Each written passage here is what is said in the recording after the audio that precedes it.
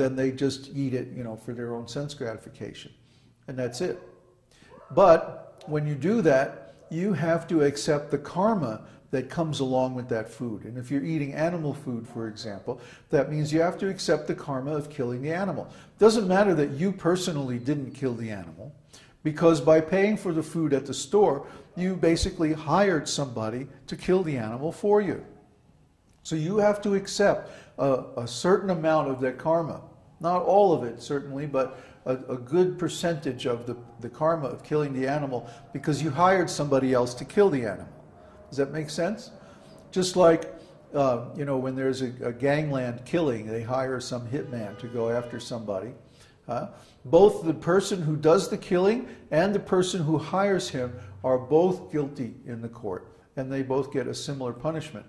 So, in the same way, according to the law of karma, when we eat animal food that's been killed for us by somebody else, we have to accept the karma for that act of killing.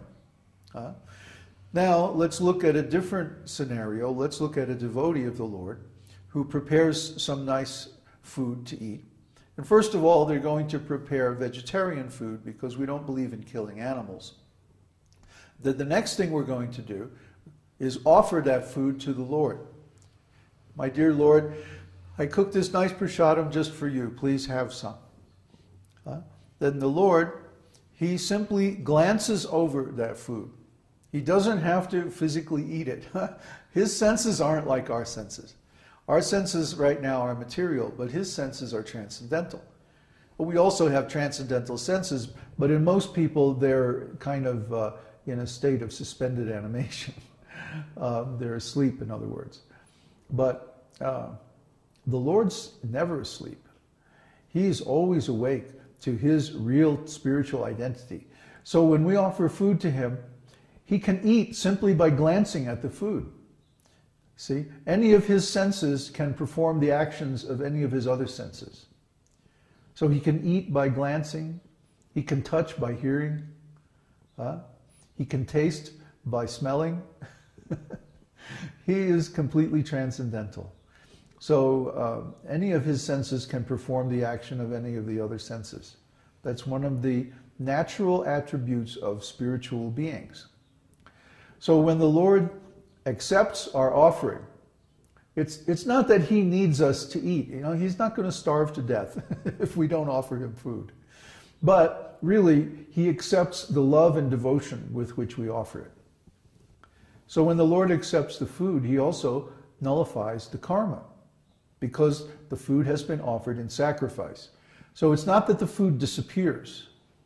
Uh, it's that he accepts it by glancing at it and in doing that, he takes away the karma. So when we eat that food, we don't have to suffer the karma that we would normally have to accept if uh, for killing the plants uh, or you know if the if the plants are mistreated or if money from the food is misspent on material sense gratification or something like that.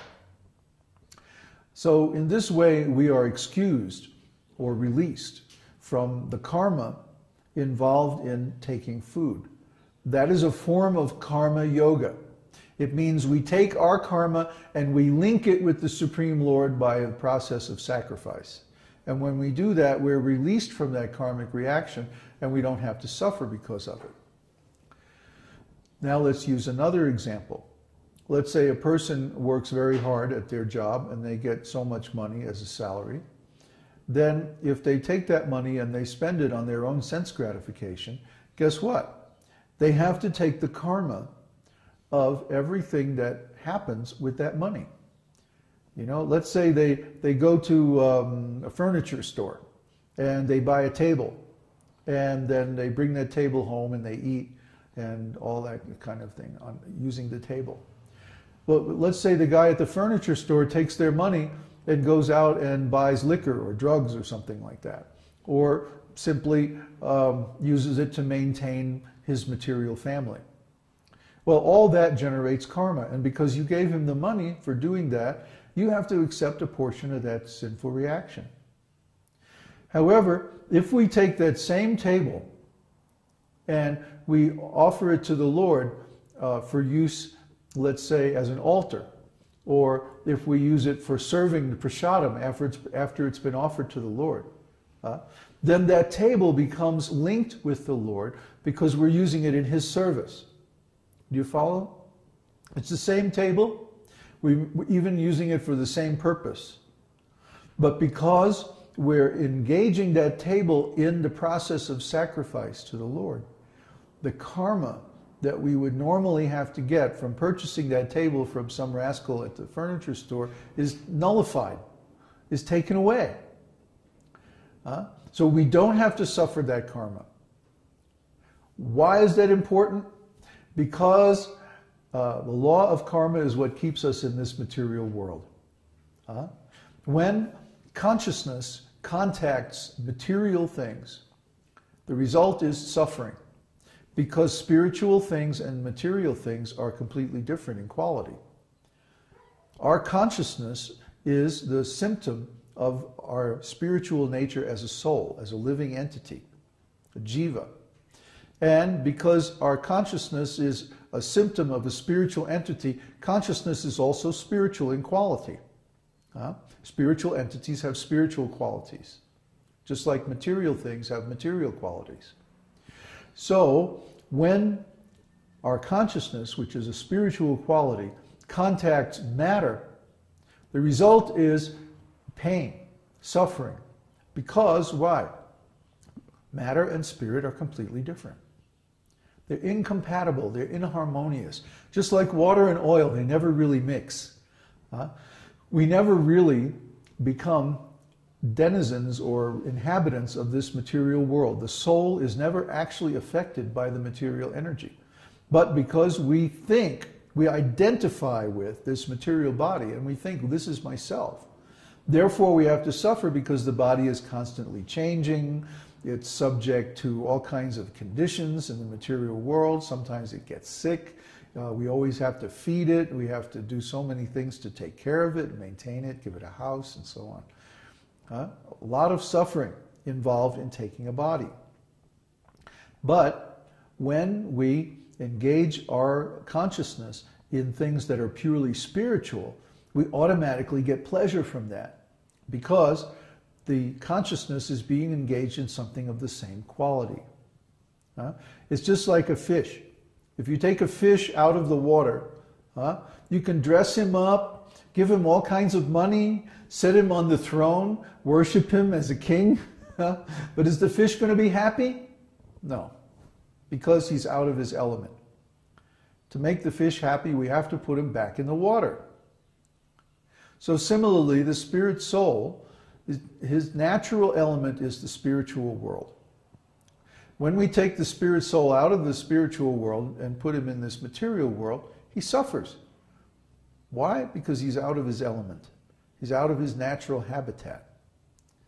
But uh, even if we give the spirit soul so much money and dress him up in nice clothes and make him a king and do all these nice things, he's still not going to be happy. Huh? Look at Britney Spears.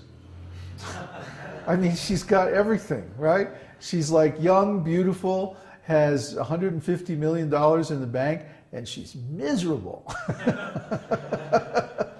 Poor baby. Huh? She doesn't know any of this about spiritual life. So she's suffering like anything. And, and then she's freaking out because she can't understand. Why am I suffering? I have it all. I should be enjoying like anything, but I'm miserable. Why?